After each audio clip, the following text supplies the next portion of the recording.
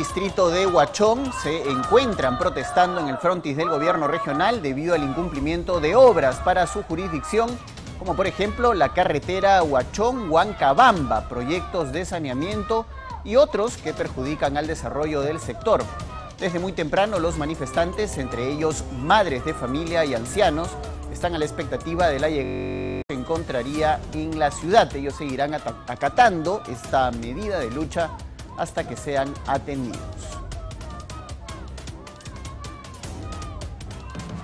Y precisamente nos vamos en vivo hasta Pasco con nuestro compañero César Cruz Córdoba, quien tiene novedades sobre esta noticia. César, buenas tardes, adelante.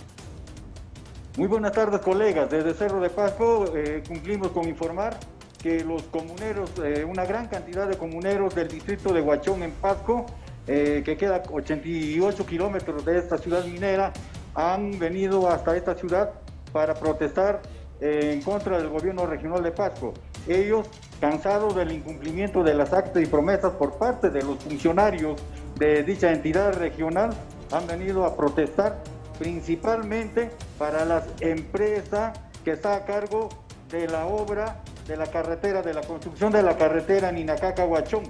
Eh, se sabe que el, el, 30 de noviembre del año pasado han dado la buena para la construcción de la carretera al consorcio Ninacaca-Huachón, pero que está integrado por empresas chinas. Ellos están incumpliendo estos trabajos. Es más, los comuneros están indicando que no existe supervisión en dicha obra, por lo que eh, existen suspicacias en la demora, la falta de atención, en los trabajos que vienen realizando en la construcción de la carretera Inacaca-Huachón. Además, los comuneros están solicitando que den preferencia a los lugareños de esa zona de Huachón, en Inacaca, porque al parecer la empresa contratista integrada por empresas chinas no les da trabajo. Ellos necesitan trabajo, necesitan atención, es por eso que ellos se han conglomerado a la sede principal del gobierno regional de Pago a exigir que cumpla la empresa constructora y asimismo que la empresa supervisora de esta obra puede estar pendiente todos los días supervisando cómo va el avance porque hasta el momento no aparecen, no hay rastros de quiénes son los responsables para la supervisión. Mientras tanto, eh, en la mañana ha habido una marcha por las principales calles de la ciudad. Hoy están frente a la sede, en el frontis de eh, la sede regional.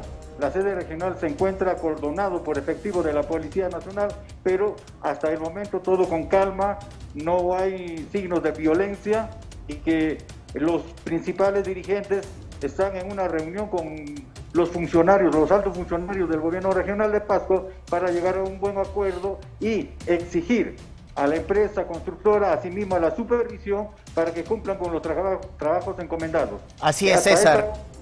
Así es, César. Importante la información que estás compartiendo con nosotros. Un dato importante es que esta carretera Nina, eh, Ninacaca, eh, Huachón, es una obra reclamada hace 15 años por la comunidad que ha tenido una serie de paralizaciones que el gobernador regional Ubalde se prometió a finalmente destrabar. Sin embargo, desde enero de este año simplemente las obras han quedado en absolutamente nada. Y dato importante de lo que nos ha mencionado César, quienes conforman este consorcio vial que debería encargarse de la obra. Presten mucha atención.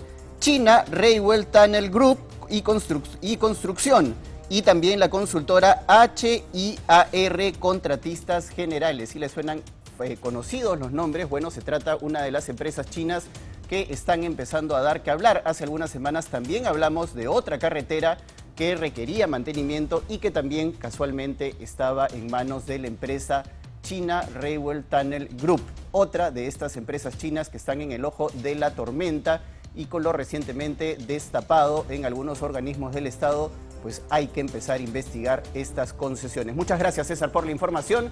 Nosotros vamos a continuar con más.